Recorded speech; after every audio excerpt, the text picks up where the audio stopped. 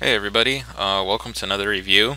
I got a request to test the new uh, Shampoo anti-malware and I went and downloaded the newest version I could find on their website and um, installed it, did an update. I left everything just like it comes uh, stock. The uh, interesting thing is I did a little research on it and um, it, as you can see, it has an anti-spyware engine and an antivirus engine. From what I could find, it's using the A squared slash Ikarus anti-spyware engine and it's using the Avira antivirus engine. So it should be pretty good at uh, detecting very well-known uh, malware. The interesting thing is, um, I hope it has something for zero day. I don't see I couldn't find anything about a behavior blocker. Uh, it does come with a ton of tools. Um, has a rootkit detector. Uh, we'll run that after. And it does have something, um, where was it? Um, report infections whose behavior resembles that of infected code. I would imagine this is some kind of behavior blocker, but it doesn't come um, checked, so I'm going to leave it unchecked. So, got the install done. Um, it does use a lot of RAM. It doesn't slow down the system though, but it's just heavy on the RAM usage. I have a feeling this is because this is the old engine from um, um, from A squared. It used a lot of RAM. It uses 132 megs of RAM, as you can see. So I have a feeling that's why it's using it. So hopefully they'll update it to the new engine that uh, works a lot better. So I got some links here, fairly fresh, uh, at least last 24 hours. But it definitely isn't a drag on the system. The only thing is during my research about Ashampoo is that they don't um, up they don't keep their products up to date like they should. Uh, at least that's what I could find instead of updating new versions and fixing problems, they kind of sometimes forget about them. Okay, so found that one. That's uh, the IK. You can see that's the Ikarus engine.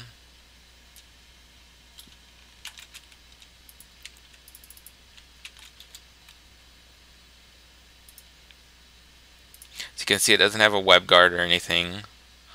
Once again, that's Ikarus engine.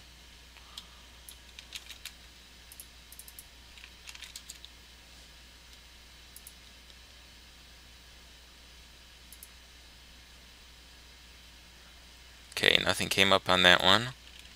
Okay, here we go. So it does have a little bit of a behavior blocker. As you can see, an application is trying to create or modify an auto start entry.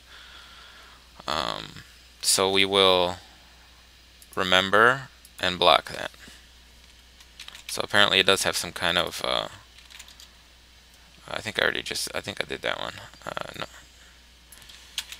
So it, I, it does look like I have some kind of behavior blocker running.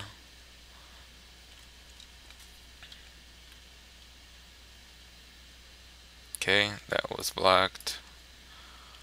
Once again, the Ikarus engine.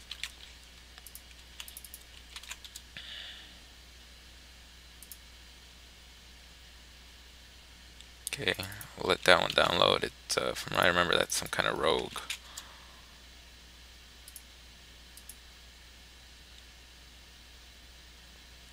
Okay, and that was blocked. It's good.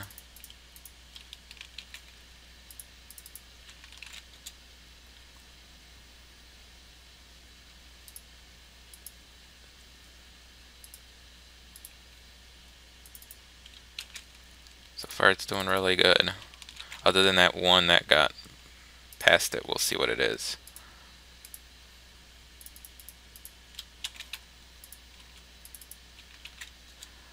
But it looked like, well, it didn't get past it per se because the behavior blocker came into effect. Okay, so I'm through my 10 links. I'm just going to wait for this one to finish downloading. Oh, there it is. It's done downloading. I think, if I remember right, this is some kind of rogue. I'm not sure though. I haven't done any research on it. I found a link.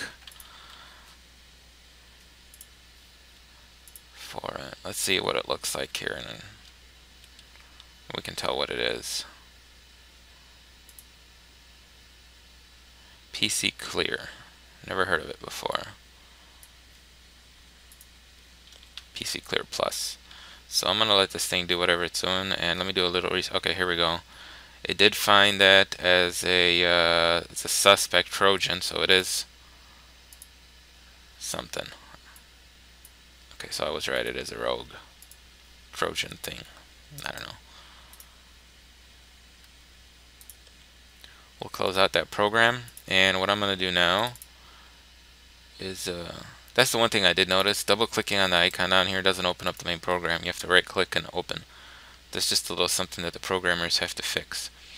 So uh, let me check out this uh, check for rootkits thing. I want to see how that works. I haven't done a scan yet with that. So, oh okay, I, I see what it's doing. Alright, that's kind of cool. Alright, so we will scan the entire system and I'll be back when the scan is done. One quick thing here, I went and got three more links that I know are malware and they're very low detection rates. I want to see if it can block these too. Okay, looks like I got that one. I want to see if I can get one that isn't blocked by signatures. And I want to see that behavior blocker really work.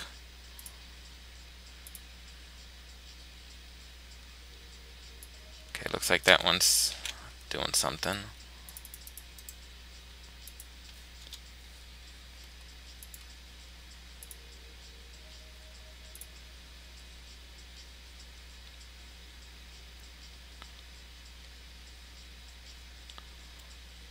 Definitely something happening here. So we'll see.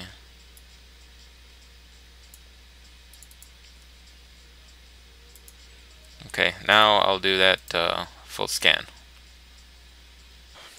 Okay, I want to show you guys that the system really is infected here. Um, the scan is taking for a while. It's using a lot of um, CPU thing uh, processing, and I'm getting some pop-ups here and some errors. I'm gonna go and try to kill some of these um, processes that are taking up. See bot exe they're all taking uh, power from the CPU so I'm gonna kill these and I'm gonna come back when the scan is done. Okay so I'm back now. Um, you can see it finished scanning and it just found some temporary init files. So we'll remove all of them and uh, what I'm going to do right now as you can see we still got an infection going on. I'm going to restart and I'm going to install Malwarebytes, update it, and uh, run a scan. So I'll be back when that's done. Okay, so uh, you can definitely see the system is really infected. It's found 78 pieces of malware. Uh, most of them are related to PC clear. We have, but we have a Trojan dropper, PC clear. Okay, what else do we have? PC clear. Another uh, Trojan, fake alert, fake alert, downloader, fake alert.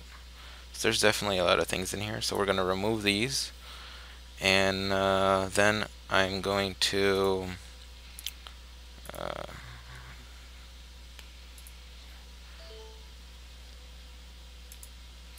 I'm going to run, uh, I forgot to run CCleaner, but I'll do that now, no big deal. And then I'll run Hitman Pro. So I'll be back after Hitman Pro runs.